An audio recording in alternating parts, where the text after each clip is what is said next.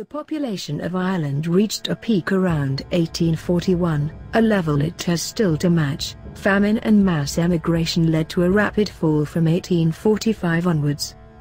The 1841 census showed that there were almost 8.2 million people living in the four provinces of Connacht, Leinster, Munster, and Ulster. Only 40 years later at the 1881 census, this figure had fallen by over 3 million to just over 5 million.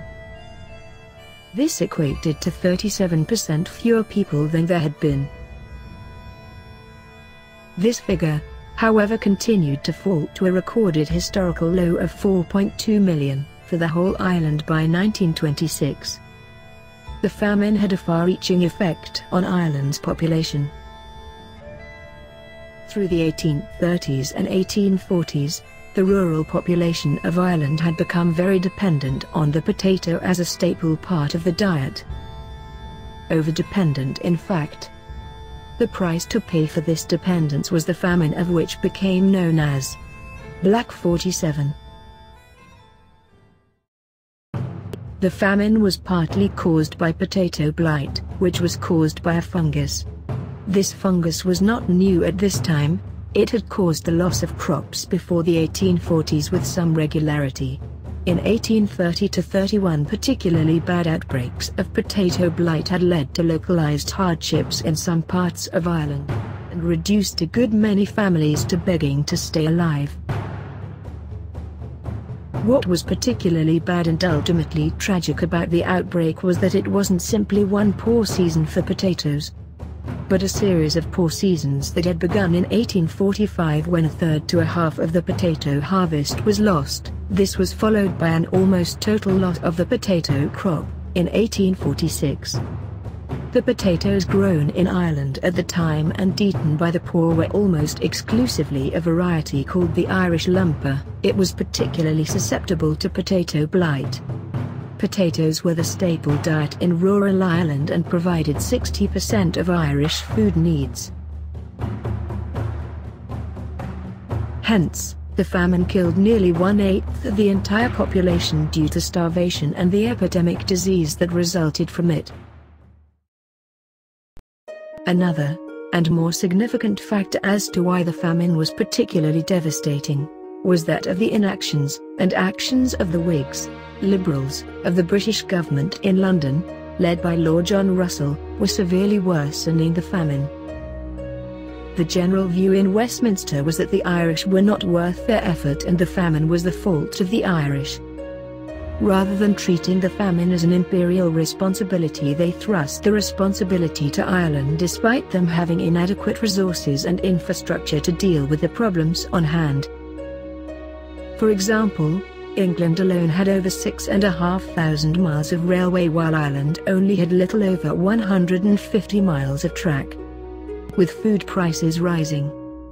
The British government did not increase workers' wages. The Irish people found it increasingly difficult to afford food. They even imposed tariffs on food, meaning it would be more expensive.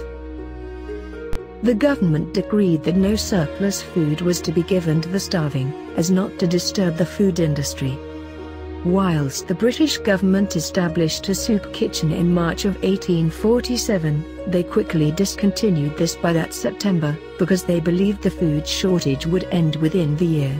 Therefore, they only implemented temporary relief measures. The soup kitchen was feeding 3 million people daily, but the British government thought that running it wasn't worth the effort. The British implementation of free trade meant that all Irish crops were sold leaving the farmer nothing to eat. The crippled economy and free trade meant farmers had no money to pay rent. British Foreign Minister, Lord Palmerston, instantly evicted all farmers who were unable to pay. Absentee landlords were common in Ireland and for many of them, the primary focus was income rather than the conditions of their tenants. Many of these landowners realized that they could get a higher income by turning their properties to pasture rather than to continue with the old practice of collecting rents from tenant farmers. Eviction was the most common way of getting rid of unwanted tenants. The tenant frequently built their cottage themselves, from local materials.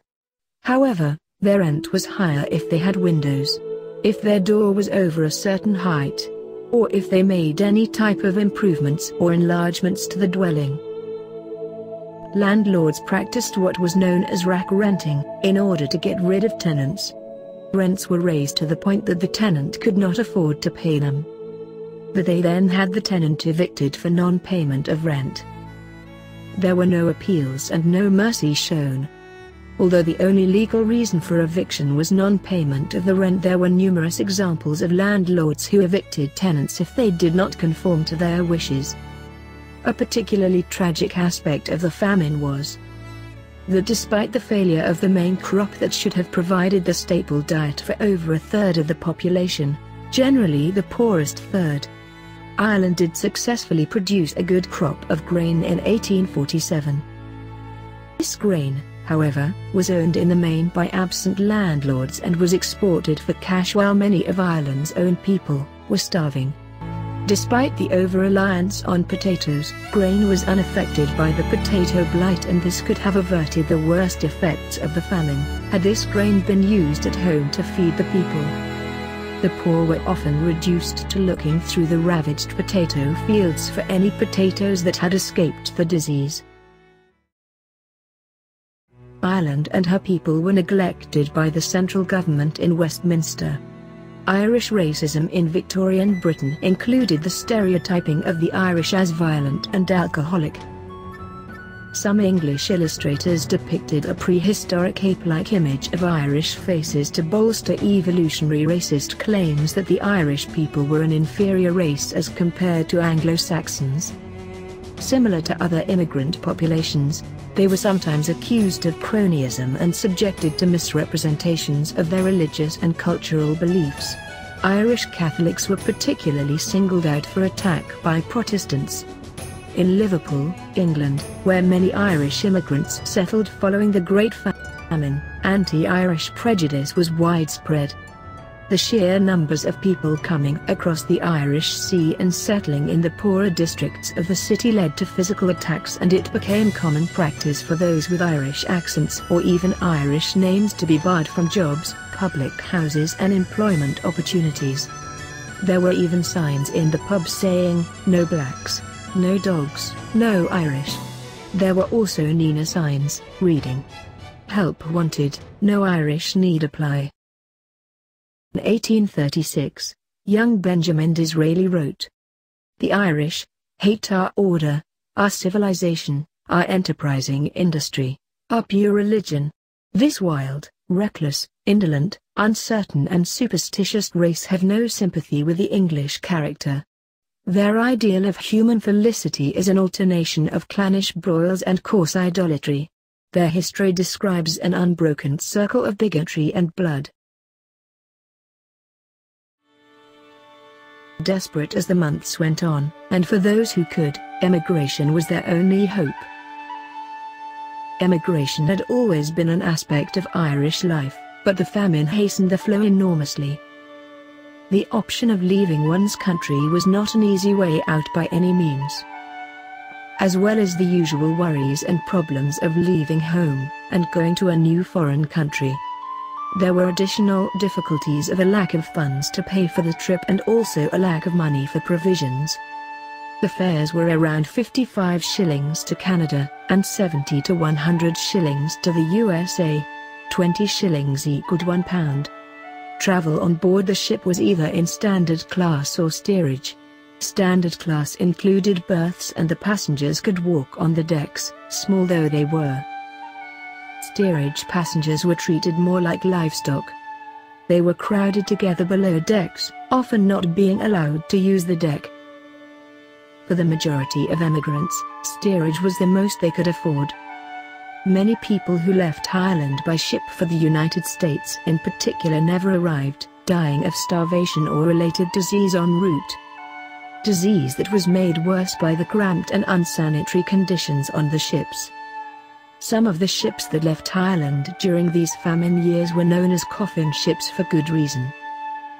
On some ships up to 40% of passengers died during the voyage or shortly after arrival.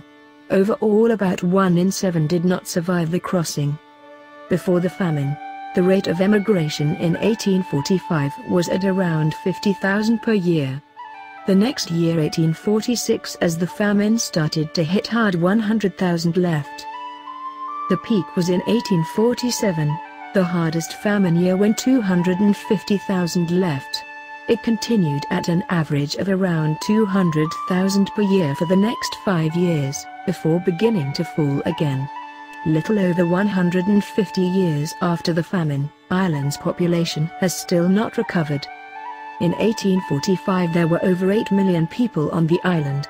As of January 2018, the population of Ireland was just under 5 million people.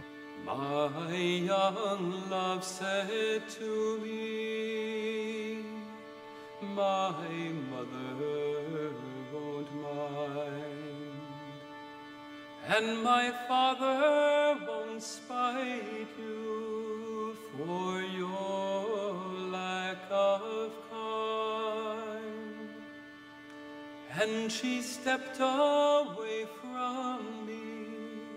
And this she did say, It will not be